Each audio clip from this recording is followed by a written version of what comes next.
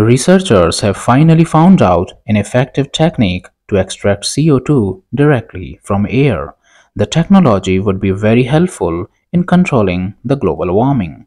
The captured CO2 can then be turned into baking soda and stored in the oceans. Traditionally, carbon capture technologies have focused on capturing CO2 emissions from industrial sources like coal and steel plants prior to being released into the environment.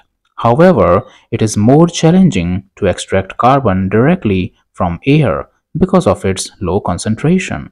More energy and resources are required to make direct air capture DAC plants in present time.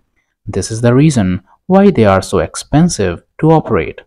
Arup SenGupta and his team at Lehigh University in Bethlehem, Pennsylvania created a new absorbent material known as a sorbent that could pull more CO2 from the atmosphere than existing materials. Arup SenGupta says this material can be produced at a very high capacity very rapidly that definitely should improve the cost effectiveness of the process. Because of its amazing properties, this material has increased the carbon capture potential of DAC plants by 2 to 3 times.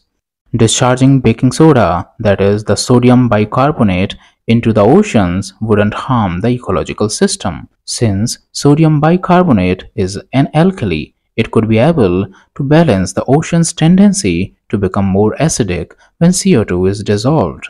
SenGupta says higher alkalinity also means more biological activity, that means more CO2 sequestration. Stuart Haszeldine at the University of Edinburgh suggests that further research is necessary to evaluate the performance of the material on an industrial scale due to the possibility that baking soda could be considered industrial waste, there might also be legal challenges to overcome in relation to its disposal in the oceans. Do you think this technology would be successful in reducing global warming? Please write your views in the comments. If you found the video interesting, then please like, share and subscribe. Thanks for watching.